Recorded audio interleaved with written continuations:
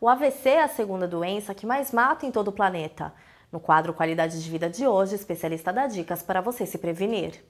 A cada ano, o AVC corresponde a 10% das mortes em todo o mundo. Conhecido como derrame, também pode ser chamado de AVE, acidente vascular encefálico. O AVC é obstrução é, do fluxo sanguíneo cerebral de alguma artéria é, que leva o sangue para o cérebro. É mito achar que AVC só acontece com idosos, mas existem alguns fatores de risco. São indivíduos que têm fatores de risco associado, que são hipertensão arterial, diabetes, alteração de colesterol. São mais ou menos os mesmos tipos é, de fatores de risco que o indivíduo tem para o infarto do miocárdio, tabagismo, né, uso do cigarro. E, em geral, indivíduos de uma faixa etária um pouco mais avançada, em geral acima dos 60, 65 anos mas nada impede de poder também afetar pacientes mais jovens. Quando o AVC acontece, o atendimento rápido é muito importante para a recuperação do paciente. Tem que ser tratado como é o tratamento de um infarto. Você tem que levar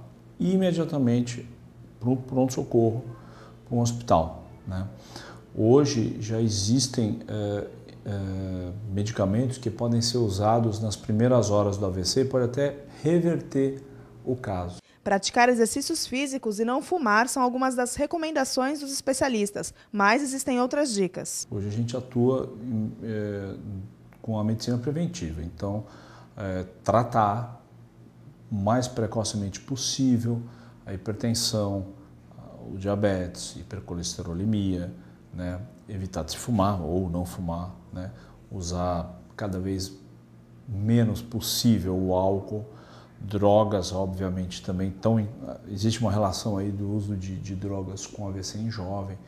E atividade física, que é um fator regulatório da, da, da, do fluxo sanguíneo, tanto para o coração quanto para o cérebro.